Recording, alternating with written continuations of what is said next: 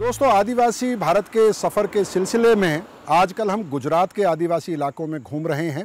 अभी तक हम डांग में थे और आजकल हम नर्मदा वैली में हैं। नर्मदा वैली में भील आदिवासी बड़ी तादाद में रहते हैं। मुख्यतः यह इलाका आदिवासी इलाका है। संविधान की अनुसूची पाँच जो है, वो दस राज्यों में लागू है और उनमें से गुजरात एक है। नर्मदा वैली और दूसरे आदिवासी इलाकों में रहने वाले आदिवासी अनुसूची पाँच में दिए गए अधिकारों को, पेशा कानून में दिए गए अधिकारों को असर्ट करने के लिए यहाँ पर पत्थलगड़ी आंदोलन शुरू करने की बात कर रहे हैं। और इस बात की शुरुआत मात्र से सरकार बेचैन है। आज के एपिसोड में इसी पूरे मामले को समझने की कोशिश करेंगे।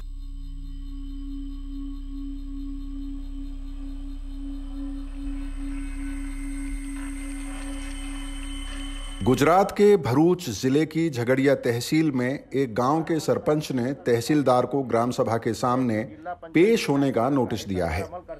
इस नोटिस में तहसीलदार को पंद्रह दिन के भीतर जवाब देने का समय भी दिया गया है। यह खबर किसी को भी चौंका सकती है, क्योंकि देश के ग्रामीण इलाकों में तहसीलदार एक बेहद प्रभावशाली अधिकारी होता है। इस तरह के अधिकारियों के सामने पंच और सरपंच आमतौर पर नतमस्तक रहते हैं। टीडीओ हमारे यहाँ आके हमको बोलता है कि भाई ये बोर्ड किसके पूछ के लगाया है? तो हमने बताया साहब ये हमारा गाँव है हमारी पंचायत बोर्ड है रूढ़ी प्रथा। वो रूढ़ी प्रथा ग्राम सभा ने यहाँ बहाली दी है मुखी बनाया है। उसकी सर्वसम्मति से हमारा गाँव में हमने हमने ये बोर्ड लगाया है तो वो हम, हम हमको नोटिस दिया है। रूढ़ी ग्राम सभा में ऐसा आता है, हम, हमको जितनी मालूम है, उतना मैं कहता हूँ कि हमारा गाँव में जो कोई भी टीडीओ बाहर का जो एमएलए, डीएसपी, कलेक्टर भी आता है, उसमें प्रावधान है कि भाई हमारा गाँव में जो रूढ़ी ग्राम सभा ने ऐसा नियम बनाया है कि गाँव में आने के बाद हमारा मुखी को पूछो, गाँव के पूछने के बाद ही हमारे गाँव में एंटर करो। तो टीडीओ हमने, हमारे पूछ के भी ना आया और हमको धमकी देने लगा उसको पावर से। तो हमने उसको नोटिस दे दिया टीडीओ को कि भाई आपने जो हमको आया है, हमारी मानसिक रीतना आप हम, हमको परेशान करते हो, इसलिए उसको एक पंद्रह दिन की नोटिस का जवाब देने को कहा था, लेकिन टीडीओ ने नहीं दिया। गुजरात की झगड़िया और डेडियापाड़ा तहसील के आदिवासी इलाकों में जगह जगह पर कुछ खास तरह के बोर्ड नज़र आते हैं। इन पर गुजराती में विस्तार से संविधान की अनुसूची पाँच के प्रावधानों को समझाया गया है। साथ ही ये बोर्ड यह घोषणा भी करते हैं कि इस इलाके में आदिवासी ग्राम व्यवस्था लागू है। हमारा ओनली फॉर ये बोर्ड लगाने का मकसद यही है कि हम, हमारे गाँव के जो लोग हैं, वो लोग को जागरूक करें और बंधारण में जो अनुसूची पाँच है, उसमें जो बसो चुम्मालीस है, अनुच्छेद में जो लगता है कि भाई हमारा राज, हमारा गाँव, हमारी ज़मीन, वो जो बंधारण में लिखा है और बंधारण में लिखा है, उसकी जागृति के लिए हमने बोर्ड लगाया है। गुजरात के सूरत, भरूच, वलसाड़, पंचमहल, सदोदरा और डांग ज़िले के ज़्यादातर हिस्से संविधान की अनुसूची पाँच के दायरे में आते हैं। इसका मतलब यह है कि इन जिलों की आबादी मुख्यतः आदिवासियों की है। संविधान की अनुसूची पाँच के अनुसार इन इलाकों में राज्य का सामान्य प्रशासन लागू नहीं होता है।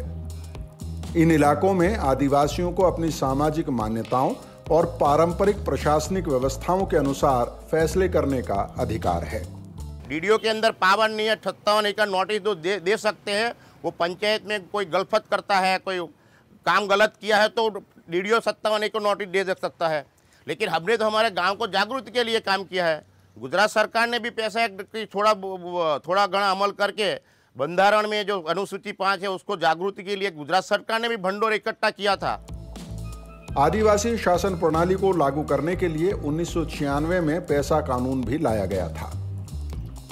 आदिवासी स्वशासन का मतलब है एक ऐसी शासन व्यवस्था जिसमें आदिवासियों के रीति रिवाजों, परंपराओं और जीवन शैली को कायम रखते हुए सत्ता और विकास के अधिकार उनके हाथ में रहें।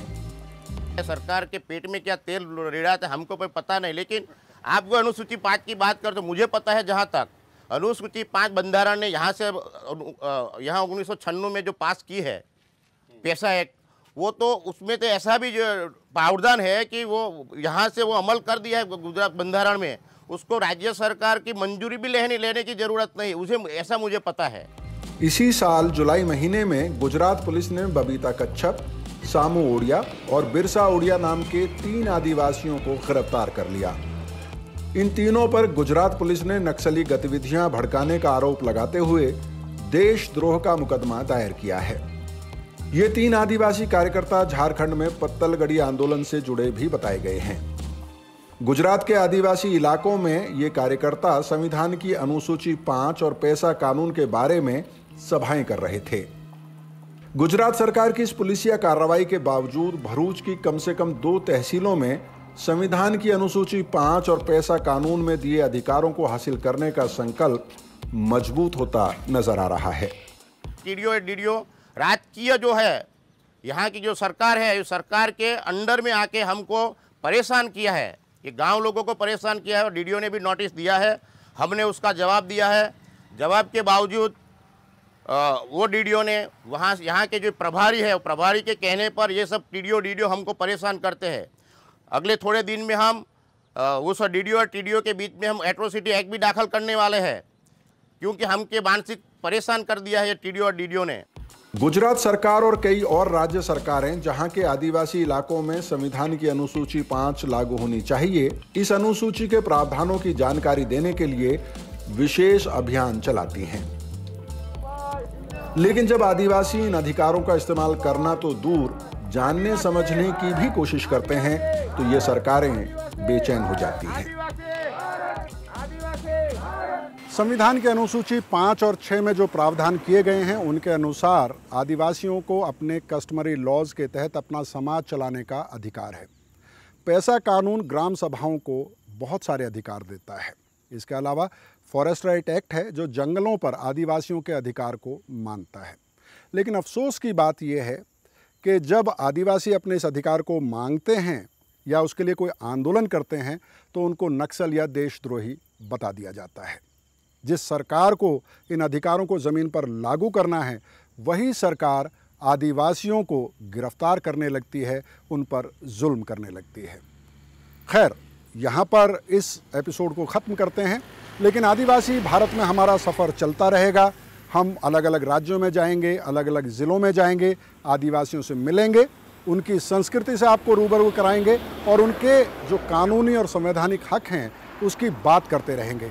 आपसे गुजारिश है कि इस ग्राउंड रिपोर्टिंग को देखने के लिए आप हमारे यूट्यूब चैनल को सब्सक्राइब कर लें, बेल का आइकन प्रेस कर दें, जिससे कि आपको हर नए एपिसोड का नोटिफिकेशन मिलता रहे। और हमारे फेसबुक पेज को भी फॉलो करें, लाइक करें। इंस्टाग्राम पर भी हम हैं और उसके अलावा हम ट्विटर पर भी मौजूद हैं। बहुत बहुत शुक्रिया।